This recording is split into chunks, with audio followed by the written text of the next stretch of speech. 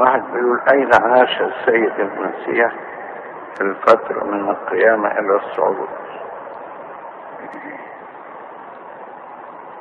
عاش طبعا في اليهودية كما كان يعيش لكن كان يظهر أحيانا ولا يظهر في أحيان أخرى